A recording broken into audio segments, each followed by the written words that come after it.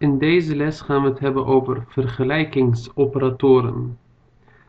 En wat is een vergelijkingsoperator? Nou, na de if heb je dus een voorwaarde. En dit, wordt, uh, dit tekentje wordt een vergelijkingsoperator genoemd. Oftewel, uh, je gaat dus twee dingen met elkaar vergelijken. En hoe ga je dat vergelijken? Nou, in dit geval zeg je van als x kleiner is, dit is dus de vergelijkingsoperator kleiner dan. Als die kleiner is dan 20, dan gaan we iets doen. Nou, uh, als je kleiner hebt, heb je waarschijnlijk ook groter. Dus dat bestaat ook. Maar je hebt ook andere vergelijkingsoperatoren. En laten we daar even naar gaan kijken door naar de handleiding te gaan. Dit is het lesmateriaal. En je ziet hier uh, vijf voorbeelden van vergelijkingsoperatoren. Bijvoorbeeld deze, die hebben we al gehad. Als x groter is dan y. Of als x kleiner is dan y. Nou, x en y zijn hier natuurlijk voorbeelden. Hè?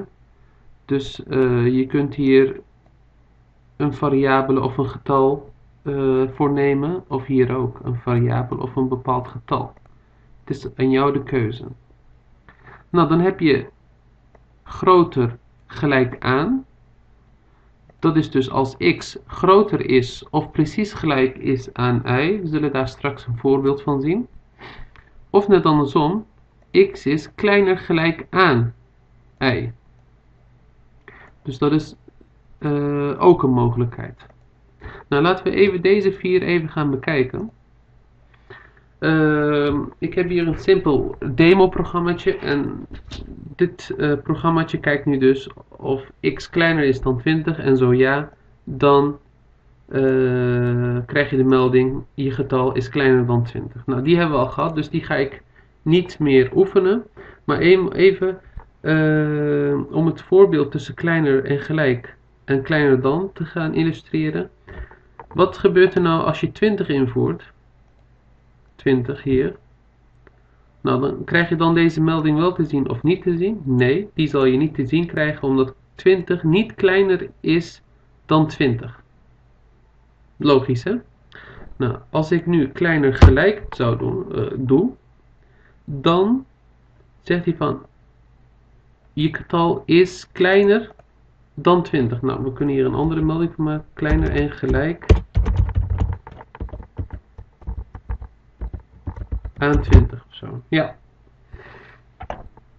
Dit zal dan wel gaan werken. Waarom? Omdat die of, oftewel, ofwel kleiner dan 20 moet zijn, ofwel gelijk aan 20 moet zijn.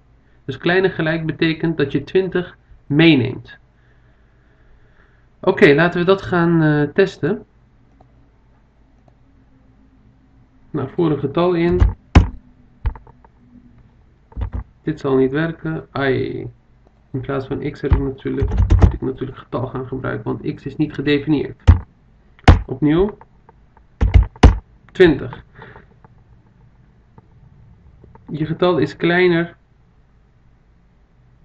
en gelijk aan 20. Nou, misschien qua Nederlands uh, even een correctie. Is kleiner dan of gelijk aan zo. Dit zou beter zijn. Je getal is kleiner dan of gelijk aan 20. Nou, dat werkt gewoon. 20 laat hij wel zien. Maar zonder die is, zou je 20, oh, iets naar boven, zou je 20, nog meer naar boven. Laten we even het venster wat kleiner maken. Ja, nu wel. 20. Nou, na laat hij het dus niet zien. Dus dat is het verschil tussen kleiner en kleiner uh, gelijk aan of groter en groter gelijk aan. Dat zijn dus de vier verschillende uh, vergelijkingsoperatoren. Je hebt er uh, meer. Je hebt namelijk ook de is-is. En wat betekent dat? Dat betekent precies gelijk aan. Dus hiermee geef je aan van als jouw getal precies gelijk is aan 20, dan ga ik dit uitvoeren. Nou, waarom een dubbele is? Omdat uh, de dubbele is een andere betekenis heeft dan de enkele is. De enkele is betekent iets wordt iets. Dus hier zeggen we de variabele getal wordt hetgeen wat je hier invoert. Dus de enkele is betekent meer een wordt geval. Oftewel, eh, in het Engels noemen we dat assignment, oftewel een toewijzing. Of terwijl getal wordt iets. Nou, de dubbele is, dat betekent een vergelijking. Oftewel, je vergelijkt hier de linkerkant met de rechterkant. En als ze precies gelijk zijn, dan ga je iets doen. Nou, laten we dat even gaan proberen. Voer een getal in. Ik doe eerst 19. Nou, dan krijg je dus niks te, niks te zien. Ik doe weer demo. Voer een getal in. Ik doe precies 20. En wat zegt hij? Je getal is precies gelijk aan 20. Nou, uh, misschien heb je dat toen net ook al gezien. Je hebt uh, als vijfde variant heb je ook uitroepteken is. En wat is dat? Dat is als x niet gelijk is aan y. Oftewel, dat is het omgekeerde van een dubbele is.